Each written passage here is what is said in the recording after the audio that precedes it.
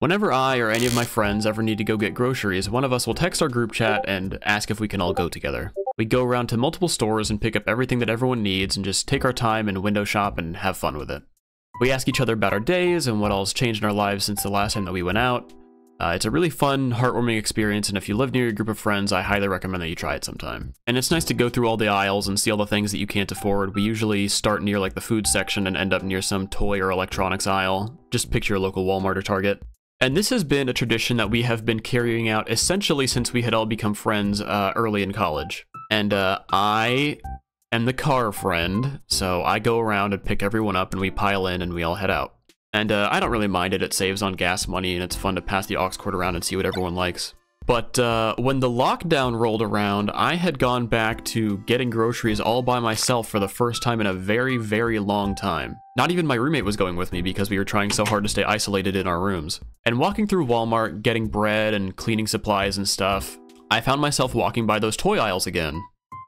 And I thought, you know, I feel awful Isolating has dragged me down to one of the worst mental points I've ever been in, and I made a little extra money from recent commissions. I I deserve to treat myself. And for the first time since I was a kid, I bought myself a battle pack.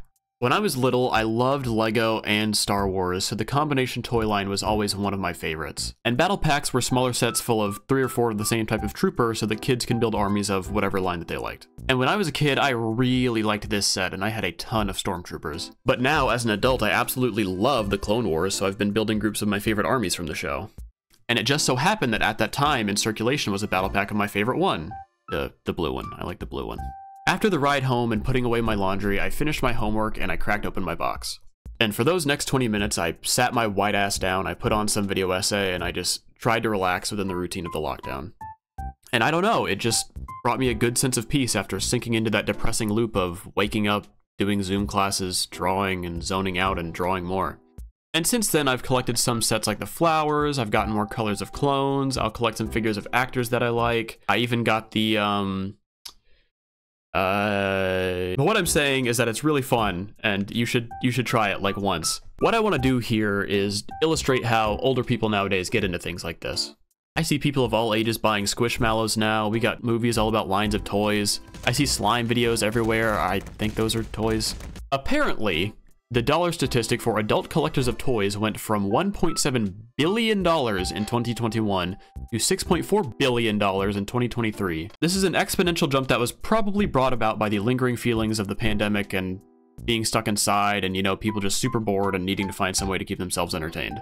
In my case, uh, I spent the lockdown going from 19 to 20, which is supposed to, you know, be a big milestone for a human. You know, you can't call yourself a teenager anymore. You're supposed to officially be an adult. But uh, in that moment, sitting there in the same room over and over and over again, day in and day out, doing the same stuff, it was impossible to really feel any change in my life. And since then, I've met other people who have similar hobbies for things that they love, and it always makes for great conversation asking, oh, how did you get into this kind of thing and why?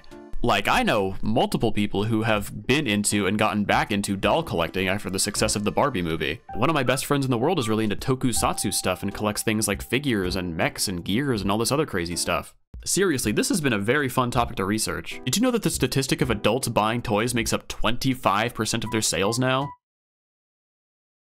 I'm gonna take this opportunity to gush about LEGO now. In about 2017 18-ish, LEGO realized they had a large market of older fans that perhaps stuck around since their boom in the early thousands, or perhaps just like the style of their models and wanted cute little figures. That's me. I, I like cute little figures. A couple of my favorites are Shadow, Spider-Man, and Robert Pattinson. And I learned that LEGO has been making stuff targeted at their older fans for a while now. There's the Ultimate Collector Series line for Star Wars, which are always huge and have triple digit price tags. I'm sure you've all seen the LEGO architecture sets in like your local Barnes and Nobles. Uh, but in 2021, they decided to blow this market wide the fuck open. And the one that I personally think had the greatest impact was this. Now, I personally know three or four couples where one of them has gifted the other the Lego bonsai. And this thing is cool, like, I know this is a PNG, but I have this bad boy in real life. There's a LEGO store in my local mall, and I think every time I walk by, I see a couple walking out with one of these. It's insanely good value for your dollar, and it has an alternate build. Like, that shit never happens. Next to the bonsai, I would say my favorite recent line is the LEGO flowers. This line was pioneered by a then apprentice at the LEGO company named Astrid Christensen, who would often make LEGO flower bouquets at her friends' requests. After making so many examples, people all across the LEGO company saw her work and began asking for their own, which led to her becoming an official LEGO flower expert and creating the official line. I believe her first official set was this first flower bouquet. And again, I know a lot of people who have given these to partners as gifts. You may think it looks corny, but a lot of people appreciate the sentiment that they sit there and they look nice and like they never wilt. Even my mom likes these things. They make very good gifts to bring people together.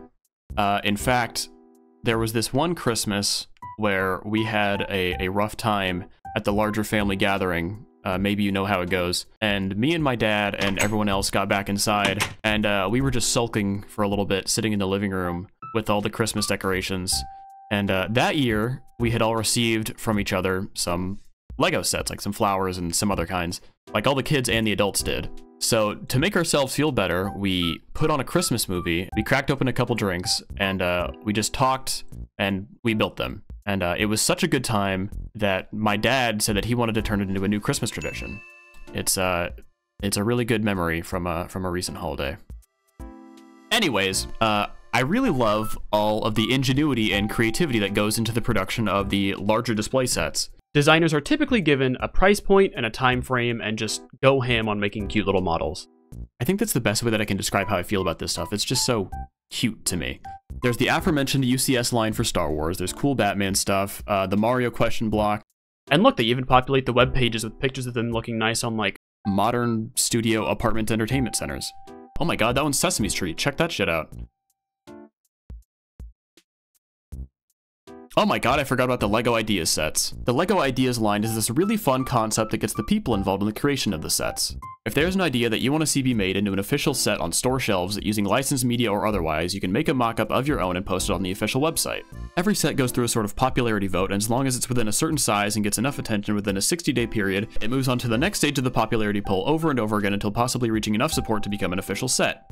It almost always produces the coolest sets of the year, and even if your idea is within a property that they don't have licensed, as long as it's popular enough, they will reach out and attempt to get the rights to do so. Like, look, they just made this new set based off of Dune. Isn't this the coolest shit in the world?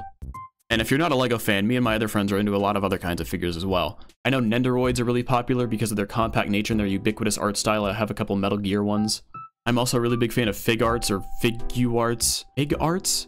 I much greatly prefer figures that you can pose, and I think that they have a really good price to quality ratio if you don't want to spend a ton of money. I'm not a big Gundam guy, but I know that Gunpla is really popular. I'm sorry, I have no idea what the fuck that I'm talking about. I bought Pokemon cards all the time when I was a kid, and I had gotten back into it relatively recently, but now I just kind of buy the ones that I like straight off of eBay. It's cool to have a couple with a really nice art on my desk to glance at whenever I'm doing video stuff.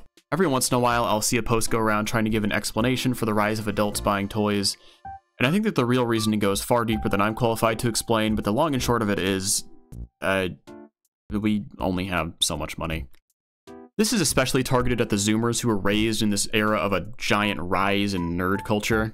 A lot of us are just now leaving college and becoming what is technically described as an adult. But the job markets are shit, the wages are shit, and the job environments are shit, and a lot of people are coming to the realization that a degree doesn't carry you nearly as far as it used to. We certainly can't afford to buy a house, so what would you rather do? Scrape up enough money to try and raise a child, or buy a figure of an anime girl? It's it's this. I wanna I wanna buy the girl figure.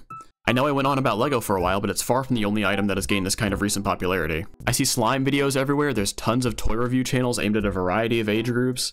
I'm even friends with multiple people that do LEGO building streams, and it's really fun. And I think that's the point in this, is that even as people get older, we still find things like this fun.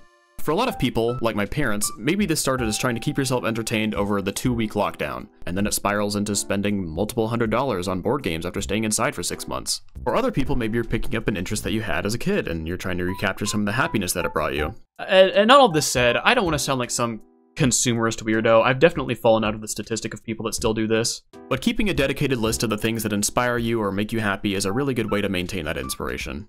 Whether you write that list down or you keep it in figures that line your desk.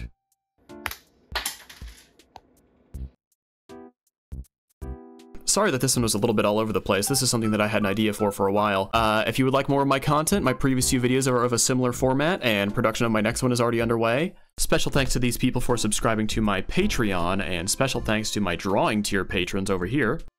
If you want to see me create these videos live or funny video game streams, make sure to follow me on Twitch. Odds are I am live right now. Make sure to like, comment, subscribe if you enjoyed watching. It really helps me grow. Um, get a good meal, call your mom, and have a good rest of your day. Bye-bye.